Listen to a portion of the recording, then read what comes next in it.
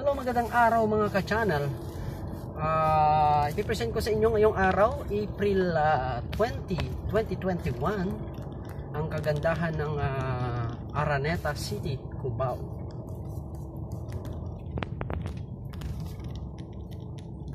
Ayan, ito mga guys ay ah, nasa Center-wide Cubao tayo, Araneta City. Dating Araneta Center ay ngayon ay Araneta City na.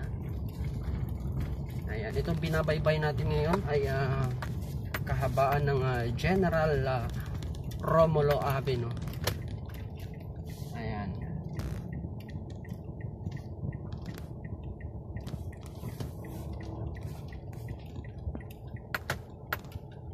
Araneta City Business uh, Association ACBA Alright So ito naman ay uh, General Rojas Avenue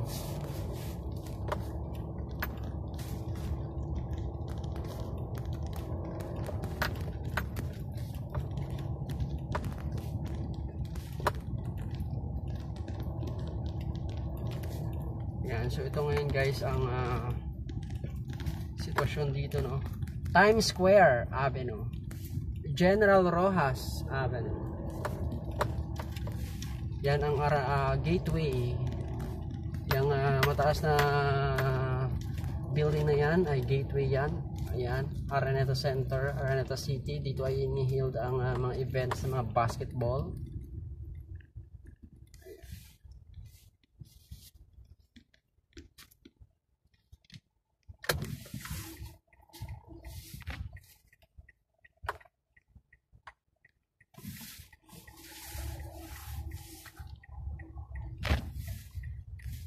Ayan. Guys, Araneta Coliseum. Ayan, Araneta Coliseum yan mga guys.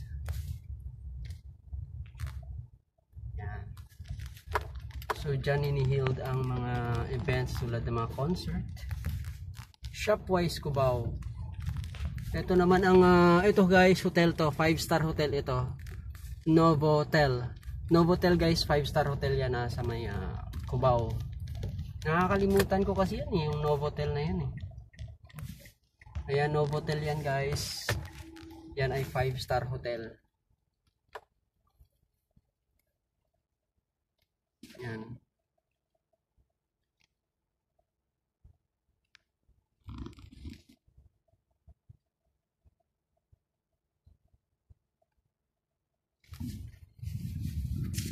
Ito naman ay Shopwise.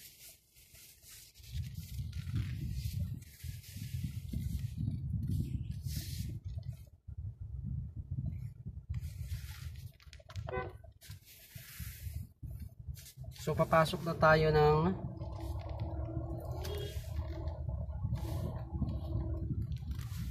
left turn tayo. Anytime Fitness. Ito ay Alimall. Ito ay bilang alaala ng mga guys. SM ito kadikit lang katapat yan. SM yan katapat lang yan ng Alimall.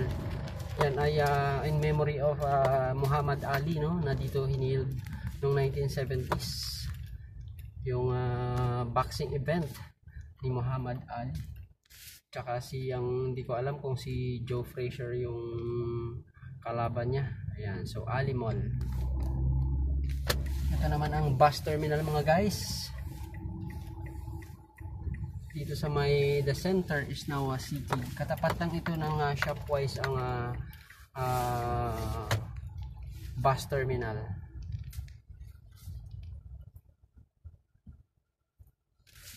Ayan. So maraming salamat sa inyong pagantabay, mag face mask, mag face shield. Every time na lumabas sa mga pampublikong lugar para hindi tayo hawa ng anumang sakit, anumang uh, polusyon na lumalaganap sa ating pamayanan. Ayan, lagi tayo mag face shield, magbaon ng face shield para tayo ay uh, uh, protektado no? Pagka nandun tayo pupunta tayo sa mga public utility vehicle tulad ng tricycle uh, jeep, bus. Ayan